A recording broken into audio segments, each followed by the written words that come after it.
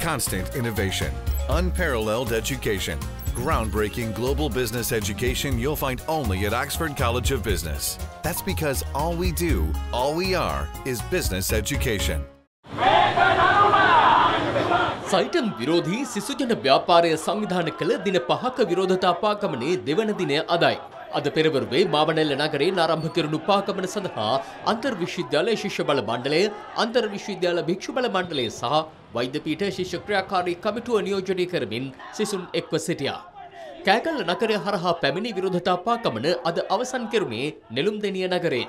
යහපාලන ආණ්ඩුව මේ වෙනකොට රාජපක්ෂ ආණ්ඩුව ඇතුලේ ඒ ක්‍රියාත්මක වුණු අධ්‍යාපන සෞඛ්‍ය විකුණන ඒ ප්‍රතිපත්තිම කිසිදු වෙනසක් නැතුව ක්‍රියාත්මක කරමින් ඉන්නවා. අපි මේ යහපාලන ආණ්ඩුවට බල කරලා කියනවා මේ වැඩපිළිවෙල අහම හොසි කළ යුතුයි. සයිටම් විරෝධී ජනපවුන සංවිධාන කළ රථ පෙළපාලයක් සහ ජනතාව දැනුවත් කිරීමේ තවත් වැඩසටහනක් අද පස්වරුවේ බදුල්ල නගරයෙන් ආරම්භ වූ අතර එය හාල්යල නගරේ දක්වා පැමිණියා.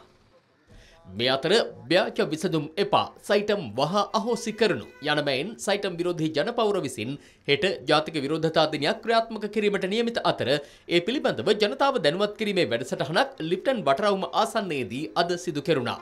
මේ සයිටම් ප්‍රශ්නයට විසඳුමක් විදිහට නෙවිල් ප්‍රනාන්දු රෝහල පවරා ගන්න කියලා අපි කවුරුවත් ඉල්ලුවේ නැහැ. කිසිදු වැඩපිළිවෙලක් නැතුව අගෝස්තු පළවෙනිදා ඉඳන් මෙතන පාලක මණ්ඩලයක් පත් කරපු පමණින් කොහොමද රජයට පවරා ගන්නේ? අනිත් එක පාලක මණ්ඩලයට පත් කරලා තියෙන්නේ කවුද? දුම්කල සමාගම වල අධ්‍යක්ෂකවරු කොහොමද රජයට ගත්තනම් ඒ රෝහලේ අධ්‍යක්ෂක මණ්ඩලයේ ඉන්නේ? කිසිදු වෛද්‍යවරයෙක් රජයෙන් මේ වෙනකොට අනුයුක්ත කළා නැහැ. ඒ තත්ත්වයට තේ මෙතන ව්‍යාජ රඟ දැක්වීමක් විතරයි සිද්ධ වෙන්නේ කියන කාරණේ බොහොම වගකීමෙන් යුක්තව කියනවා. මේ අතර ඔවුන් ඇල වූ සයිටම් විරෝධී පෝස්ටර් මත කොළඹ පැත්වීමට නියමිත ආහාර ප්‍රදර්ශනයකට අදාළ පෝස්ටර් පිරිසක් විසින් අලවන ආකාරය දක්නට ලැබුණා.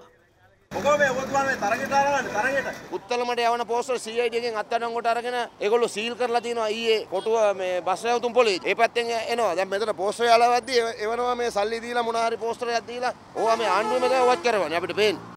ඒ අතර පසුගියදා රජයට පවරාගෙනනු මාලබේ නෙවිල් ප්‍රනාන්දු ශික්ෂණ රෝහලේ සභහපතිවරයා ලෙස හිටපු සෞඛ්‍ය සේවා අධ්‍යක්ෂ ජනරාල්වරයෙකු වූ වෛද්‍ය අජිත් මෙන්ඩිස් මහතා පත් කර තිබෙනවා. සභාපතිවරයා ඇතුළු රෝහලේ සෙසු අධ්‍යක්ෂ මණ්ඩල සමාජිකයින්ට පත්වීම් ලිපි ප්‍රදානය සෞඛ්‍ය අමාත්‍යවරයාගේ ප්‍රධානත්වයෙන් ඊයේ පස්වරුවේ සිදු කෙරුණේ සෞඛ්‍ය අමාත්‍යාංශයේදී. නෙවිල් ප්‍රනාාන්දු රෝහල රජයේ රෝහලක් ලෙස නොමිලේ සිදු කරන රෝගී සත්කාරක සේවා අද සිට ආරම්භ වූ අතර ඒ අනුව පළමු රෝගයා ඇතුළත් කර ගැනීම සිදු කරනු ලැබුවේ රෝහලේ සභාපති වෛද්‍ය අජිත් මෙන්ඩිස් මහතා විසින්. අද බෙහෙත් ගත්තේ නොමිලේ. නොමිලේ හම්බුනේ. සල්ලි ගත්තේ නෑ අද. සල්ලි ගත්තේ නෑ. රෝහලේ අවශ්‍යතා සඳහා රුපියල් කෝටි විස්සක මුදලක් අමාත්‍ය මණ්ඩලය විසින් අනුමත කර ඇති අතර මෙම රෝහල ඉදිරියේදී නැගෙනහිර කොළඹ ශික්ෂණ රෝහල ලෙස තවදුරටත් සංවර්ධනය කිරීමට නියමිත බව සෞඛ්‍ය අමාත්‍යාංශය සඳහන් කළා.